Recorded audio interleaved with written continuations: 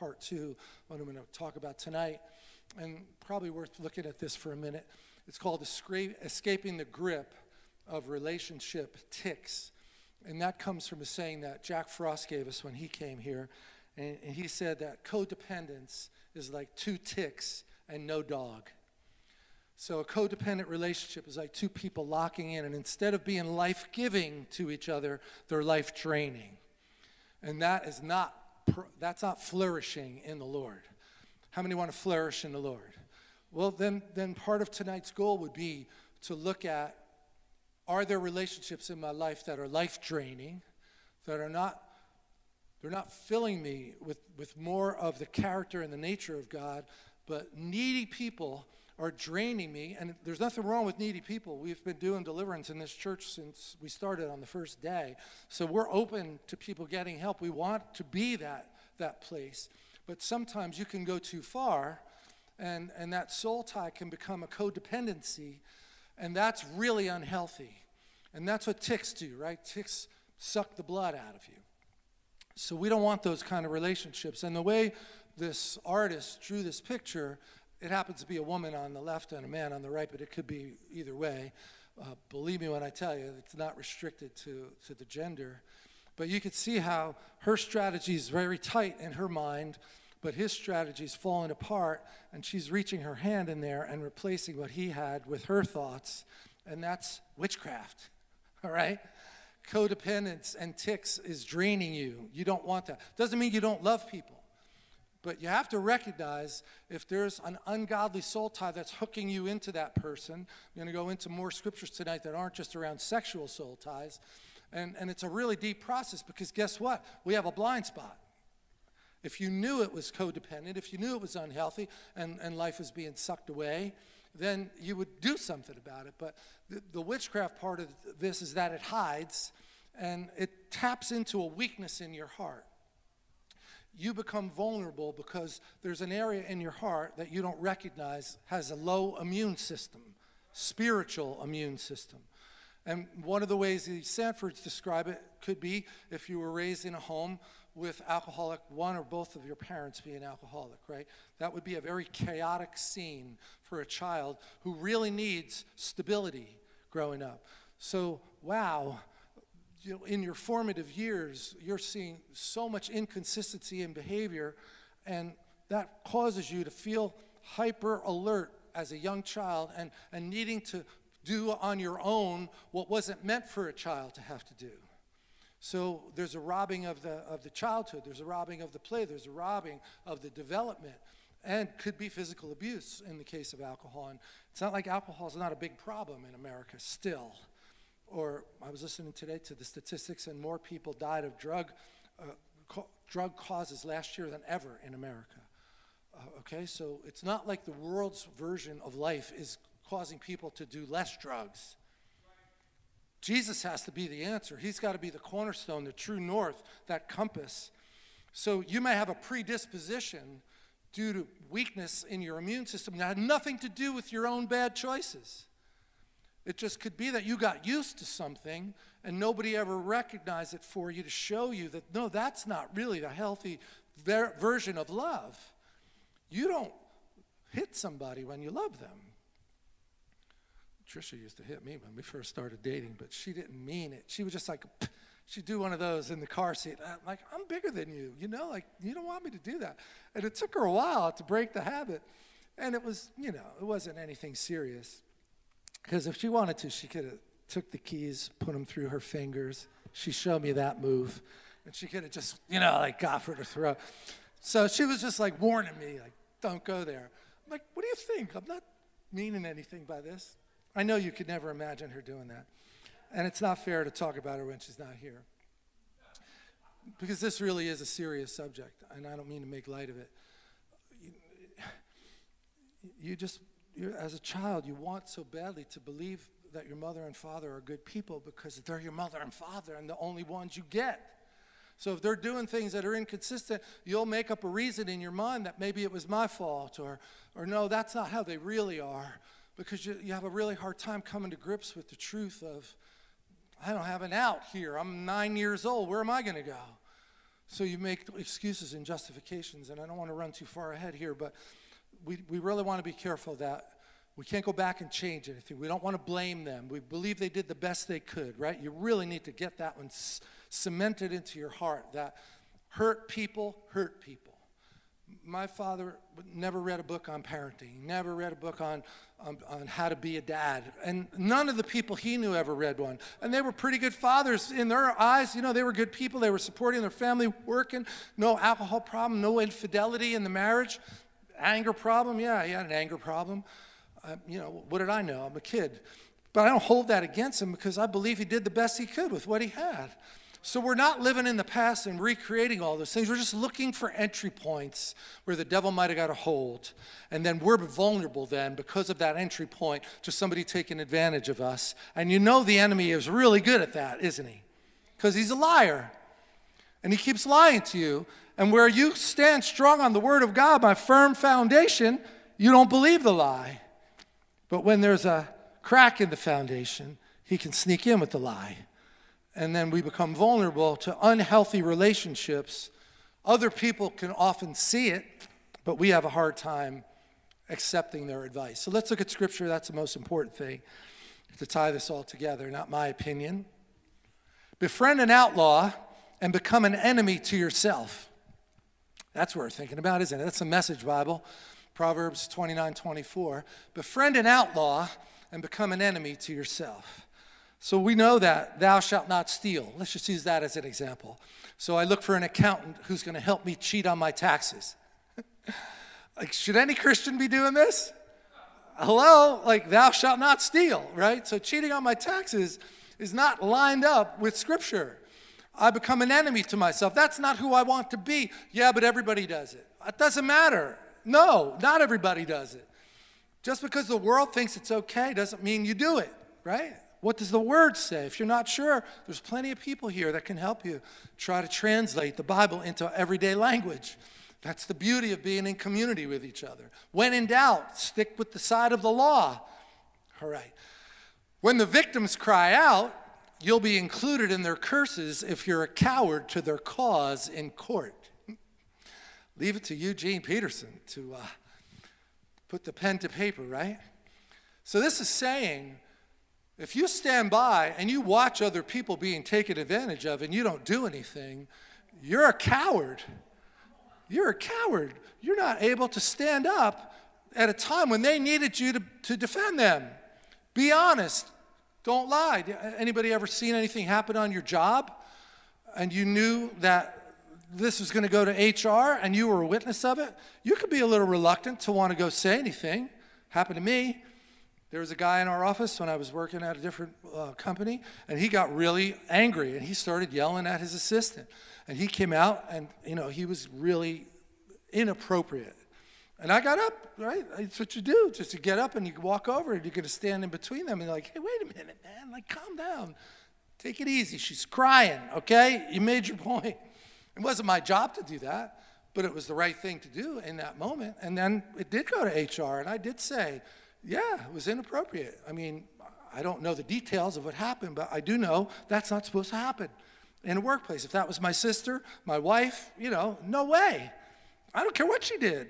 You don't, you don't have the right to treat her like that. So we don't want to be counted. Look at how it says it. When the victims cry out, you'll be included in their curses if you're a coward to their cause. This is very pertinent today a lot of people work in situations where they're afraid to say anything. They're afraid to talk about what they really believe. So bad things might be going on, but not me. I can't afford to lose my job. That's exactly what the enemy wants. Get us to lie, because that's a violation of Scripture. Anyway, the fear of human opinions disables us. Believe it? We're supposed to fear God or man? You all know the answer. But this fear of human opinion disables, and that's been a big part of the cancel culture, is just getting people to be afraid to, to speak the truth. And, and then you get a bunch of people that get used to lying for the cause. No thanks. Trusting in God protects you from fear of human opinions disabling you. Amen? And I said, first century cancel culture, this is nothing new. There's been bullies around for a really long time. in uh, John chapter 12, verse 42. It says, Many leaders secretly believed in Jesus, but would not declare their faith because the Pharisees continued their threats to expel all his followers from the synagogue. And here's why they loved to please men more than they desired to glorify God. So, again, want a reality check? Do you remember when Mario Murillo was here? And what was he saying? Effectively, that if you're concerned about how America is doing socially, the culture wars, the crisis in the schools, you don't like the curriculum that's being taught to our children, whose fault is it? The church. We stood by and watched it and said we're not supposed to be involved in those decisions. Sorry, wrong. And what a shame that it had to get this bad. But it is this bad now. We don't want to please men more than we desire to glorify God. It's going to be difficult at times to take a stand for what Jesus says. But you don't want to be hearing those victims. You know, you're part of the reason because you were a coward in the time when you had to take a stand. Now, I'm not saying to just act irrationally and just throw all wisdom and judgment and discernment to the wind. Look, remember Paul when he in the book of Acts he goes into a new territory and that woman who's possessed of a spirit, a divination, starts crying out and says, "These men." Anybody raise your hand? I can barely see you, but you can see me. You remember that, right? And didn't you wonder, like when you first read it, like I wonder why he told her to stop? What she was saying was true. Wouldn't that be good? Well, no, because if you're on a reconnaissance mission, think of Nehemiah, right? When he went down to rebuild the walls of Jerusalem. He rode around the city at night. He didn't let anybody even know he was there. He was casing the joint for God. So Paul is walking through, and now she is saying something that he doesn't want her to say, so he casts the demon out. So even though the demon made it look like it was good news, it wasn't time. It's discernment. You need to have high levels of discernment. So I'm not going to say when I stand before God, yeah, but I didn't want to hurt their feelings because we're supposed to be a mouthpiece for the truth in love, no doubt. Not easy, but not to water down the word. And the, the American church has taken on this posture of not offending people, not talking about sin, changing scripture to say, well, if they feel that that's the way they want to live, same sex attraction, we have to love them because we'd want to treat them the way we would want to be treated. Well, look, when I was doing drugs, I wanted to do drugs, but somebody loved me enough to tell me to stop. Mary Roselle, thank you. you know this one. Every kingdom divided against itself, Luke 11, 17. Every kingdom divided against itself is brought to desolation. And, and just to tie it into tonight's message of this ungodly soul tie and these codependent relationships, we are a house divided. We know something's going on here that's not healthy, but we don't feel the strength to end it. And it gets like a tangle, and we can't extract ourselves from that relationship. Yes, you can. We think we can't, but we can. But you have to identify it first and recognize it. And these are amazing principles that apply to so many things. Every kingdom divided itself is brought to desolation, and a house divided against a house falls. So if Satan is divided against himself, how will his kingdom stand, right? You remember, they were accusing Jesus of casting out demons by the power of the devil. Makes no sense. Why would Satan cast out Satan? He wants to give you a double jeopardy, double dose, double for your trouble. You say, I cast out demons by Beelzebub. And if I cast out demons by Beelzebub, by whom do your sons cast them out? And you might wonder, what did he mean? I don't think their sons were casting demons out. Honestly, like Jesus is saying, well, I mean, you're seeing demons leave at least when I'm doing it. I don't know. That's just an aside. I love this. If I cast out demons with the finger of God, maybe just like pinky finger, like, right? Like he didn't need much. Boop, gone, boop, leave. They weren't real long prayers come out. But if I cast out demons with the finger of God, surely the kingdom of God has come upon you. When a strong man, fully armed, guards his own palace, his goods are in peace. And I'm purposely using this language so you can get a picture of what it's like to be in an unhealthy, codependent relationship. It's like you're locked behind a door and you can't get out because they're working witchcraft on you. They're, they're, they're leveraging a weakness in your life, and, and, and what the witchcraft does is, is make you believe that you can't change. Please don't ever say they will never change. Why? Because you're cutting God out of that formula. God can change anybody, anything. Nobody is helpless. I don't believe we have an unlimited amount of chances as we mature in the Lord. I do believe there is accountability that comes. So I don't want to make it sound like, you know, he, he did bring judgment upon Jerusalem because of sin, right? It's hard to read the Bible and not recognize that we're going to have a day of judgment. And, and he's merciful and long suffering, the Bible tells us. So let's not live in this sloppy grace where, oh, well, he loves me. I can't lose my salvation. Oh, I'm getting by enough to get into heaven when I die. That is a counterfeit version of Christianity. You are here to be an ambassador for the kingdom. As the Father sent me, so I send you into the world. For this purpose, the Son of God was manifest. You know it, right? To destroy the works of the devil.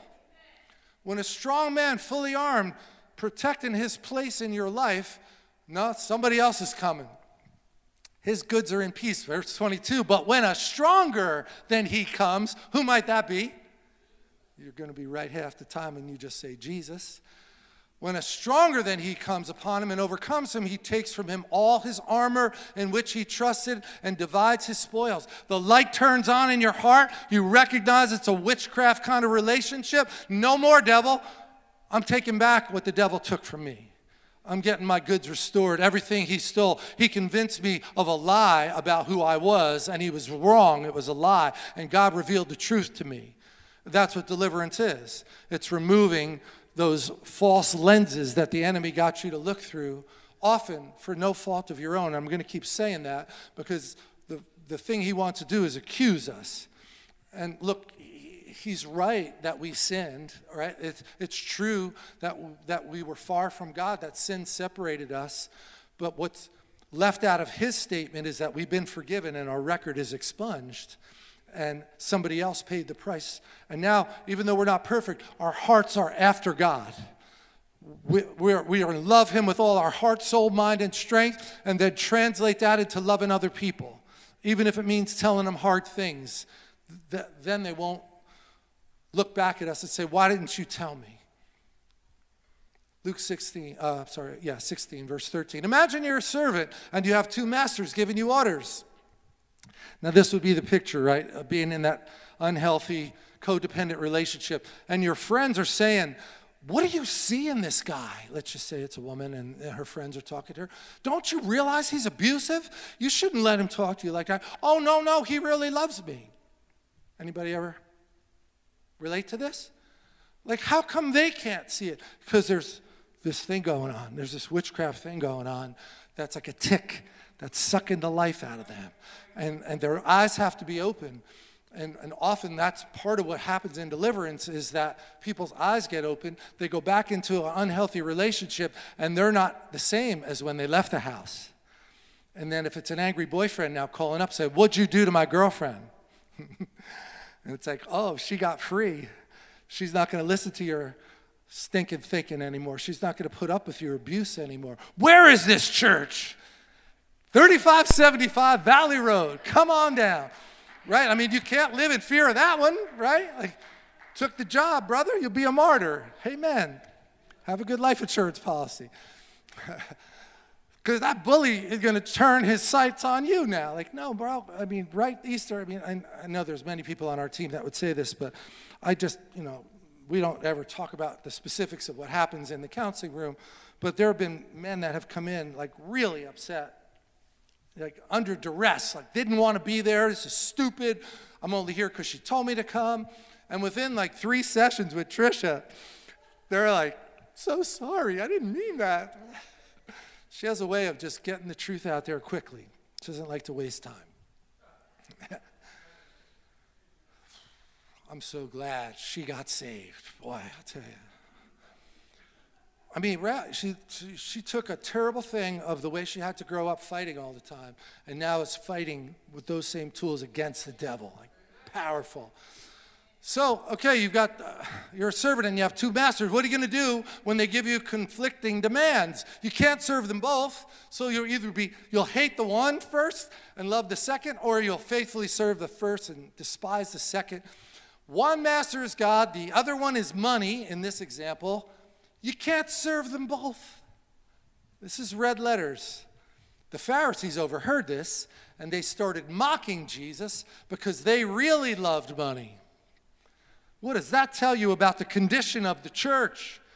If we're going to call the Pharisees the representatives of the church, which they were to the Jewish community, there was corruption at the head of the church. That's a problem. You, you can't be a coward. You got to call that out. And they loved money. What were they supposed to love? Thou shalt love the Lord your God with all your heart, soul, mind, and strength. That's your first commandment. And then love your neighbor as yourself. They weren't. They really loved money. Jesus said to the Pharisees, You've made your choice. Your ambition is to look good in front of other people, not God. Can we repent of this, please? Can we re- repent of being a little too quiet sometimes that things are being said and you just don't want to get into a tangle? You're allowed to stand your ground. I remember when my sons were uh, in school in eighth grade, uh, maybe, maybe sixth grade, and there was a Jewish uh, boy in, uh, in the cafeteria one of their classmates, and he wore a yarmulke. And they were making fun of him. Not my sons, they were watching, and they told me the story later. Uh, the other kids were making fun of him for this, and they asked him why he wasn't doing something. Maybe it was going out for Halloween, I forget now. And he said, um, Because that's not part of my belief system.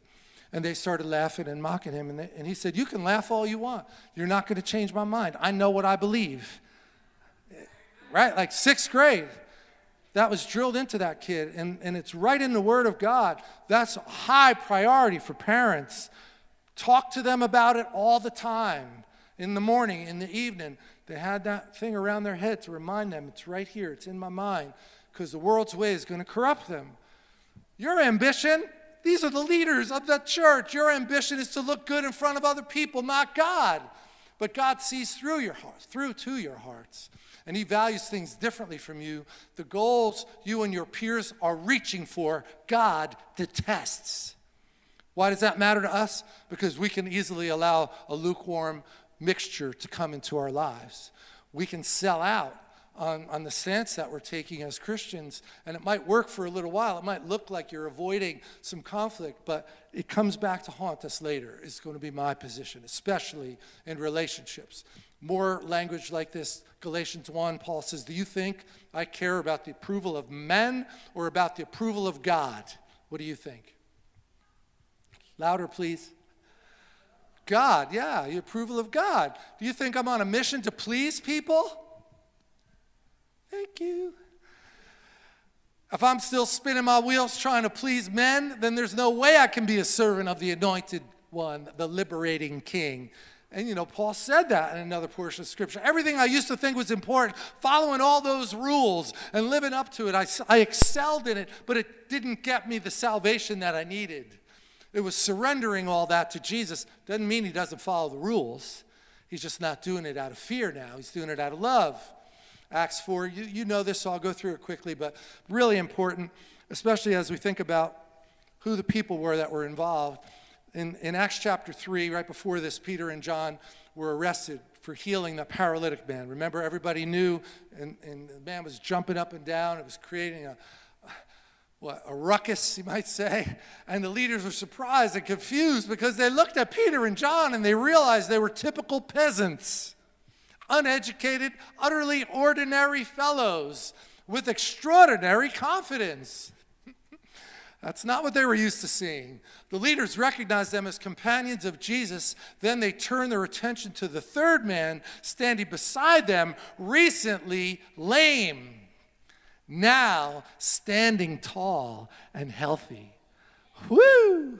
When somebody gets delivered, it's the same body, but it's a different person, it's a different spirit.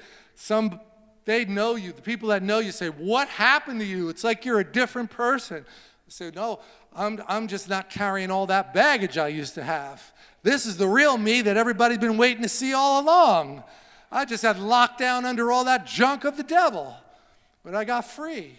How much did that cost you? Nothing. Prayer. Oh, sounds like a good deal to me. Well, it didn't cost us anything, but it cost him everything. So don't ever diminish what he did for us. So these guys are like, you know what cognitive dissonance is? It's a, it's a phrase that they throw around a lot today. It's when a truth appears in front of you that just so rattles you, it's so opposite of what you think could, could be the truth that you come up with these crazy ways of, of explaining something because you just can't admit that you might have been wrong about that thing. And, and one of the one of the authors that I admire said, reality is what you run into when you're wrong. That's cognitive dissonance, right? Like you don't know how to handle what's going on. And that's what was happening to these uh, Pharisees and, and the elders. Like they were, they saw these uneducated men, and in their algorithm, you had to be highly educated in order for God to use you. They were not highly educated. This guy's healed. They had walked past that guy at the temple for years. Never even tried to get him healed because they were trying to please men. I could really go on a lot of rabbit trails right now. But I'll just say this. When we first came out here, you know, I'm, I'm in the financial business, so I know that, that there's a lot of money out here. And, and well-meaning people at our church at, at the beginning when we were just meeting at the firehouse, somebody would visit that they would know, and they'd say, oh, wow, we should hope that they come here because if they tithe, we would have more money in the church. Now, I know that they were well-meaning, right? But what happens in the heart of the pastor if the pastor's thinking that way? It's like all of a sudden, if I see the person who, who they told me has a lot of money doing something wrong, am, am I going to hesitate to correct them? How could God bless that? He couldn't. He couldn't bless that. People can't buy their way into favor with God. And I married Trish. That would never fly, okay? The money isn't what matters, it's the anointing. That's what we need. We all need the anointing. And people with money without an anointing can be really dangerous. But when they get both, boy, look out, devil.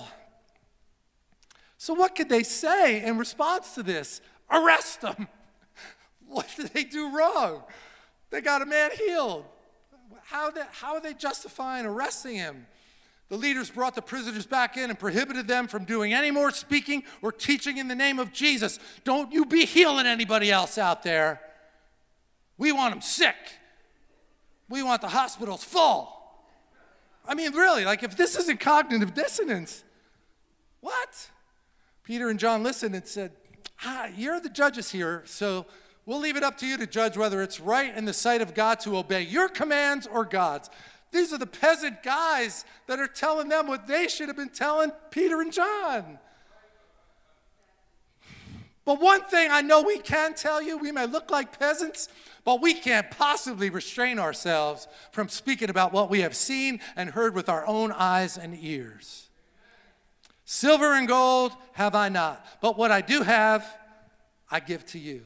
Stand up in the name of Jesus. So, upon their release, they went right to their friends and told their story, including the warning from the council, and the whole community responded with this prayer to God. And I'm just going to tell you, this is a very present, helpful prayer right now in 2022. Okay, the world's kind of pulling apart at the seams in a way that I've never experienced or witnessed. Um, so, you really do need that. You need that compass to be on the true north, not to get thrown off by this stuff. And he says, Now, Lord, take note of their intimidations intended to silence us. That's what the devil's been trying to do to the church forever, right? So, no, sorry, no bully spirit going to win. Grant us, your servants, a courageous confidence. Can you say that with me? Courageous confidence. What a good combination of words. That we need to go ahead and proclaim your message while you reach your hand to heal people, enabling us to perform signs and wonders through the name of your holy servant Jesus. Do you remember Luke? I'm sorry, James? I'm thinking of another guy that looks like James. when he was up here Sunday? Did your toes start to curl a little when he started singing Amazing Grace? oh, I hope he could sing. But he could sing. It was really good. It was anointed because he was singing from the heart that, man, I was dead six months ago. I could have been a dead man. Why would he love me so much to save my life? You can't put a price on that. That's an encounter, a real encounter with a living God that completely changes the direction of somebody's life. And, you know, whether you see it a lot or not isn't the issue. The issue is opening the door and, and creating an atmosphere where it can happen. And that's what we're going to keep on doing. We're going to keep opening the door. We're going to worship God. We're going to speak the word. And we're going to believe that He wants to follow us with signs and wonders. That's what He said He would do.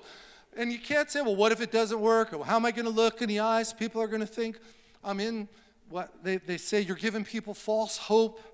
Look, they can think whatever they want. I know what He did in my life.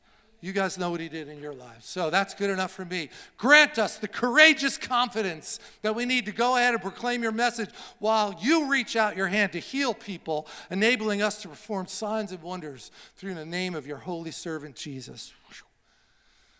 The Holy Spirit changes everyone and everything. Think of Peter.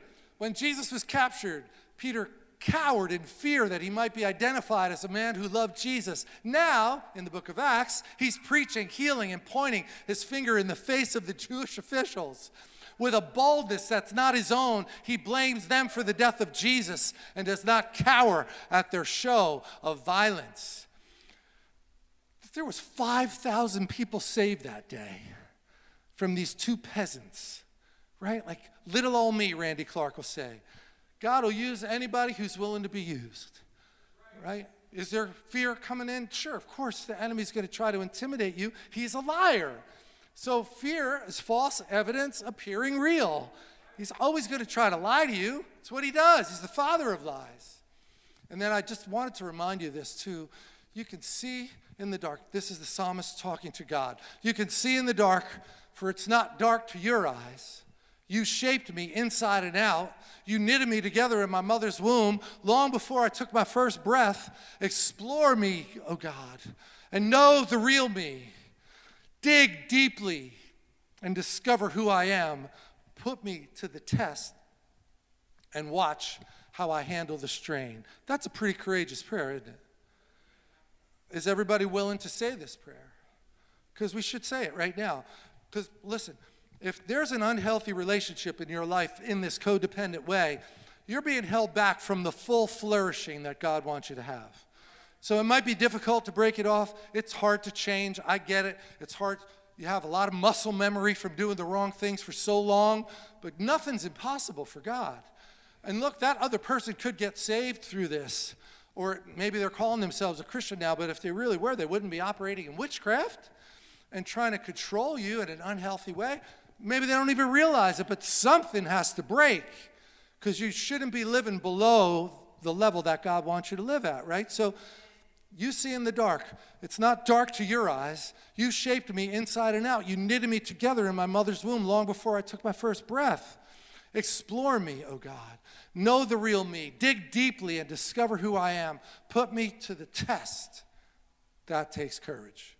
Put me to the test and watch how I handle the strain. Examine me to see if there's an evil bone in me and guide me down your path forever. That's it. That's the deliverance process right there. This is not once and done. Okay? It's layers that it's not meant to be like, oh my God, I'm going to be in a lifetime of counseling. No. It's more looked at, we're going to be in a lifetime of dying to the old flesh and allowing Him to resurrect the new man while we're here which we'll have it fully when we get to the other side, but we can have it now if we allow Him to work this process in us death, burial, and resurrection. And then I'm going to get to just a little bit more of the specifics and then we'll wind it down. Idolatry in any form is a sin. So if I'm in a codependent relationship and, and I'm not holding this person accountable because they're working something on me, it's a form of idolatry in this relationship. I might have a wrong picture of God's true version of love. Maybe an example Uh, my family, I've mentioned it before, is um, we're, we're, of Italian descent. My family's in the garbage business. There was a very dark side of the Teamsters Union that forced us to have to, forced them, not me, to have to do things that they didn't want to do. But my cousins were threatened. You know, it was just a whole bunch of really dark stuff. So, what do they do? Like, they, they, would have lost everything. So they were kind of forced to do things that they didn't want to do. And if you're in that culture and they say you have to do something, it could become a form of idolatry. Loyalty to the family is less important than loyalty to this family, the, the Word of God. And, and it's your family, right? Now, we, we forget that the early Christians, one of the reasons they called each other brother and sister is because when they became Christians, their family didn't want anything to do with them anymore. So they had to have a strong conviction because in those days, if you didn't have your family, you didn't have much. They all worked together in community and they needed each other. So for you to take a stand and say, no, sorry, I'm not doing that, then your family say, all right, well then you want to do that, then we have nothing to do with you anymore. You're on your own. No, I'm not on my own. I got a bunch of brothers and sisters. And I got a father who's willing to take care of me. And I wouldn't be alive without him, so I know he's got me. Because he brought me this far. He ain't done with me yet. It's a sin to be in idolatry, even when that which we idolize seems good and necessary for our lives. God designed our spirits to seek and to give love for His glory. All right, you with me? In, in the pure form, we were created in the garden to seek love, right? He wanted fellowship with people, with, with humanity. He wanted, uh, uh, uh, I heard put this way, he wanted to see what it would be like to have the nature of the universe, which cannot be limited to live inside a limited, limited body. Isn't that a cool way to look at it? That's us until sin came in. And now all of a sudden it's, it's that nature, but it's been tainted by sin and we've been separated. He designed our spirits to seek and to give out, give love for his glory, but when we worship our own chosen idolatrous forms of love, then we serve ourselves instead of God and others. Be subject to one another out of reverence for Christ. Now, if you know this chapter, this is about marriage, right? Which is awesome. Convicting. Husbands, love your wives the way Christ loved the church. Wives, submit to your husbands, right? So, wives, you say, Love me the way Christ loved the church, and I'll submit to you. Just kidding. I think the men do have a tougher side of the equation. This is really good. Try to get this. I know it's running a little long here, but try to get this one. This is another one of the Sandford's um, verses that they talked about a lot because just because we're not aware that something's wrong doesn't mean there isn't an area that we can improve on. That's a summary, right? Although I'm not aware of any flaw that might exclude me from this divine service, serving God, that's not the reason I stand acquitted. The only supreme judge, our Lord, will examine me in the proper time. So we look in the mirror every day and we say, Lord, reveal things that don't belong in here, and I will do my best to, to, to work with you to, to flush this thing from my system. And, and I'm willing to do that because I know the outcome is going to be so much better. So resist that temptation to act as a judge before all the evidence is in. When the Lord comes, He'll draw our buried motives, our thoughts and our deeds, what we don't know or admit to ourselves. He'll draw those things out of the dark shadows of our hearts and into his light. Now, could that happen tonight? Yes. It doesn't just mean when the Lord comes at the second return, it's when the Lord comes in the room with you in that moment, and boom, the light goes on. Or you get a physical healing during worship and nobody laid hands on you. That sounds like a pretty good deal. The, the no step program. Never mind the one step or the 12 step. God describes the two ways that relationships work. To the degree of our proximity to the cross, all right? This is so Sandford right here, right? To the, to the ability that we're willing to bring it all to Him and say, This might have got me here, Lord, but it's not what you want me to use to get me forward. So even though I've learned how to use this thing, I'm, I'm leaving it at the cross and saying, I trust you to give me a better way. to go forward.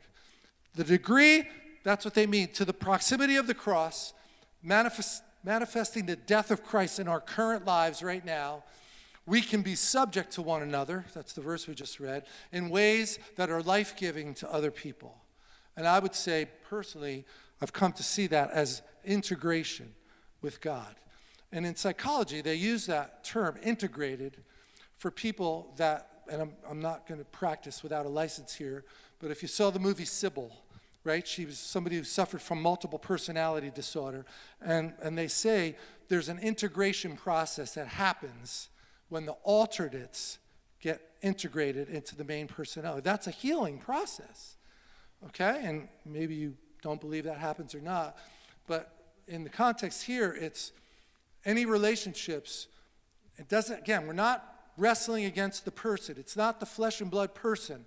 It's, it's the toxic effect that the relationship is having on you, and it has to be severed, it has to be broken. It's a tick, it's sucking the life out of you. And you need to be around people who are enriching you, who fill you, uh, who, who raise the bar of what you can expect to be a Christian. We can't be subject to one another in ways that are life giving to others unless we are manifesting that regular amount of death.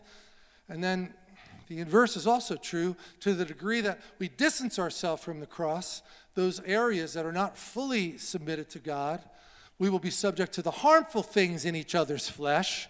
And that scary word is disintegration, right? We're used to thinking of something disintegrating from a nuclear bomb. But disintegration means just we're, we're further away from God than we need to be.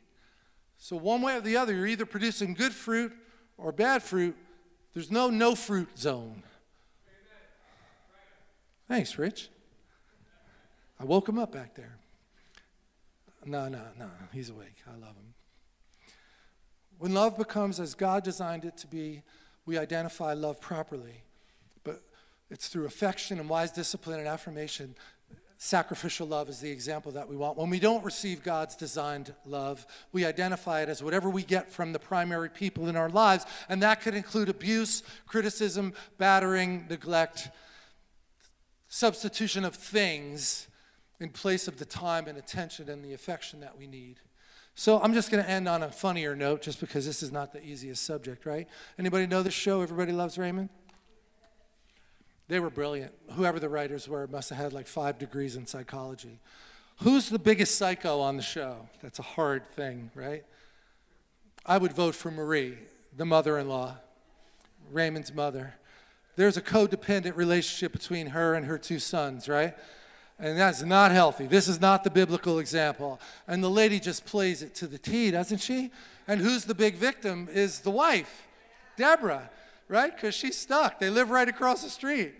Um, in one of the shows, a guy came over to talk about doing the wills, and and Ray said, you know, if what happens when you do your will if, if you both die in a plane crash who's going to be the one to take care of your kids and raymond innocently says well my parents could be the ones and deborah looks at him like no and they invite a couple of friends. They realize they have to name somebody in the will. So they invite two friends over and they go through this long party and they give them dinner. And they get to the point in the conversation and they say, Hey, you know, we're, doing our wills. And the, the attorney asked us if we knew anybody who would be willing to take our children. You know, the, it's a million and one that it would ever happen. But, but we thought of you guys. Would you be willing to do that? And they, the, the guy went, Oh my God, Ram, that's amazing that you would put that much trust and respect in you? And he looks at his wife like, aren't you like blown away by this? And then the guy looks at Raymond and goes, not in a million years. Your family are psychos, right? So, like, that's part of what's funny, but it's not so funny if you're in it. If you're Deborah. So Marie comes over. This is just one conversation. I'm probably gonna, not going to do it the same justice is showing it, but she said, All right, Deb, we've had our share of arguments and tiffs, but it's because you don't understand me. I'm just misunderstood. I'm not interested in a relationship of artificial pleasantries and phony smiles. That's a total lie. She does this all the time. I'm always honest with you, aren't I? No. But if I see you desperately need help with something, like cooking, cleaning, the children, your hair, I just care so much that I have to say something because I want to help. I forgive you for, t- for today. I'm always here to help. There's not one true statement on the whole thing there. It's so twisted, but it wouldn't be funny if it wasn't true. right? It's because I love you that I have a vice grip around your life. No. And then this, uh, I'll end here with this one uh, as far as these go. So Marie's talking to Deborah, and the backstory is that Raymond just disrespected Marie, and Marie is now the victim talking to Deborah. Do you ever doubt your worth as a mother? And Deborah says, Yes, of course. Imagine your little son, Michael, who lights up whenever you get near him. And then imagine him at 14 years old and he doesn't even talk to you anymore. One night you make him his favorite dinner and you try to give him a kiss goodnight, and he goes up the stairs with a great huff, or a grunt, sorry. And then you come across his journal and it says, I hate my mother. I wouldn't wish that on you, Deborah. And Deborah goes, Raymond, apologize to your mother.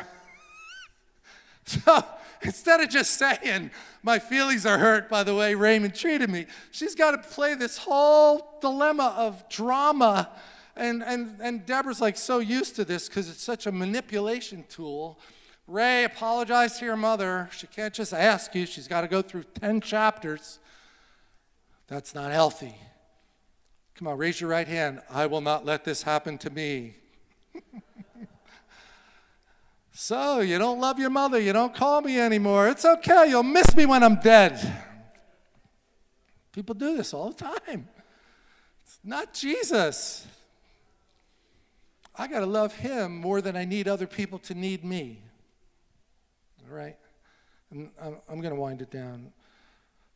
Uh, think of it this way there's life giving love, they call that in the Sandford's material, that's regenerative love. And then there's unregenerate love that never fills you, that never is satisfied. You always need another compliment. You're always looking for somebody to pat you on the back. You're so insecure about who you are. You don't know your identity, so your only identity is to get other people to give you praise and applause. That is not Jesus. That's not healthy.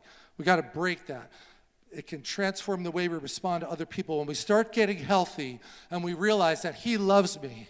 And yes, it's important to think about what other people think about you, but your life and your identity and your worth is not based on what other people think. It's based on what God thinks. And you know what? When you try to change, you're not going to be an expert the day you start trying to change.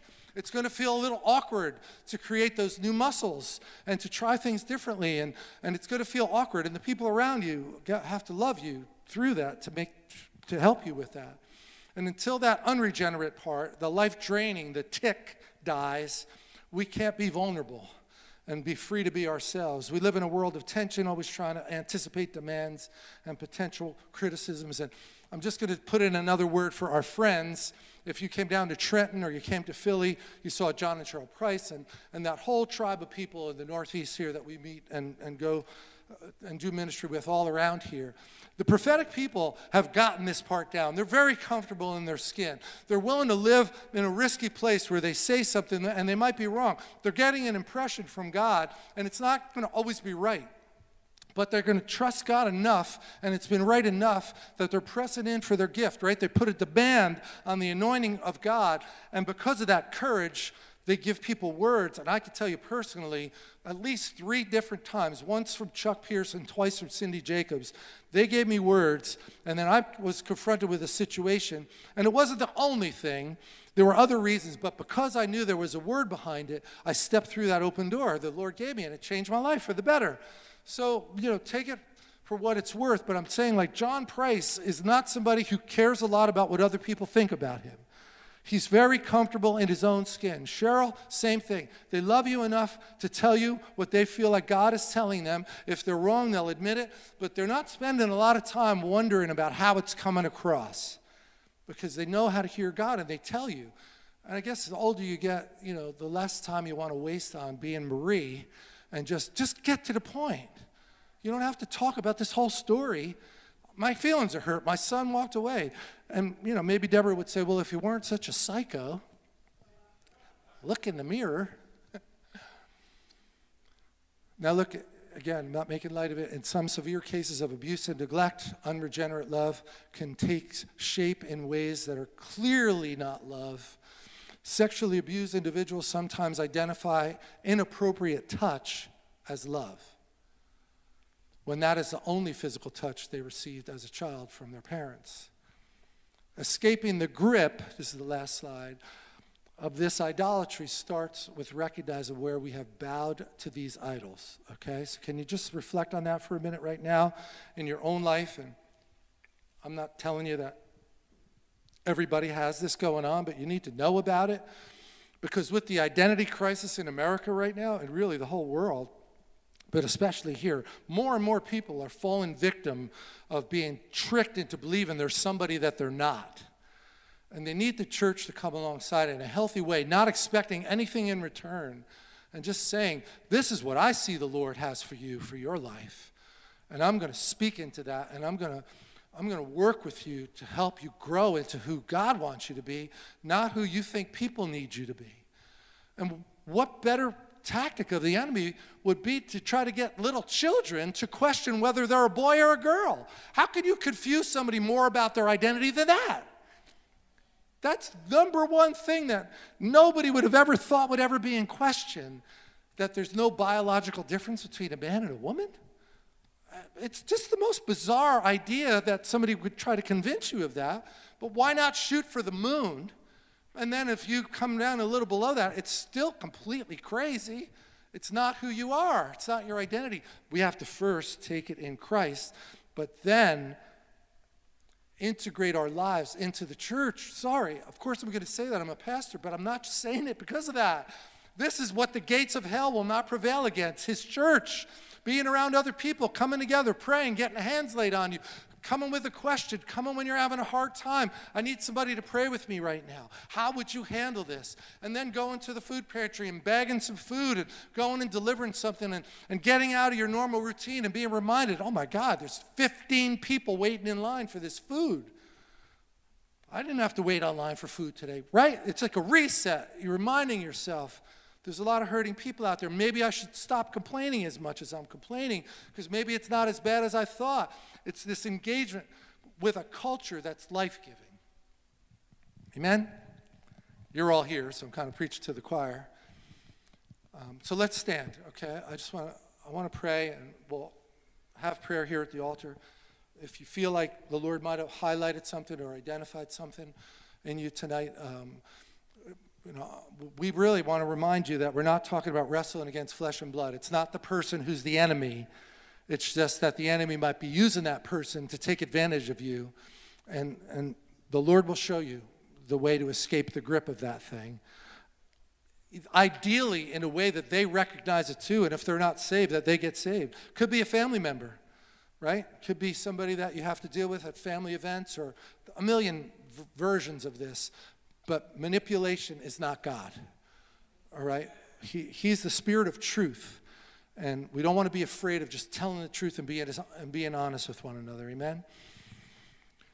So let's, let's confess and repent uh, if, there's, if there's that issue in our lives. Lord, I'm sorry. You don't have to repeat after me, but this is just how I would say it. I'm sorry if I have misidentified my priority here and worried too much about what other people are thinking about me.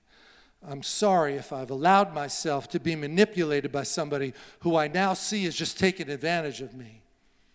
And I forgive myself for falling into that trap. And you might have to say, I forgive you, Lord, for whatever reason that you might think that He should have showed it to you or whatever. Why did you let that happen to me? And, right, we prayed from Psalm 139 show me my heart when I'm under stress, when I'm in strain, reveal what's inside of me. So if that's happening for you, it's it's not hard. He wants to hear you. Just say, I repent of that. I repent of, of a misplaced loyalty, of thinking this person's opinion is more important than your opinion of me. And help me see clearly what you really think about me, not what the devil tells me you think about me, not what my father said about me or other people in my life that hurt me, but what you think of me. Because that's my real identity as a son and daughter of the living God who's my dad, not the angry judge who wants to punish me, but a loving father who wants to reveal his heart to me. I just thank you, Lord, for the folks that are here that are open to this prayer. And I pray that revelation, that you would open up our eyes. I hope there's no unhealthy relationships or codependent relationships.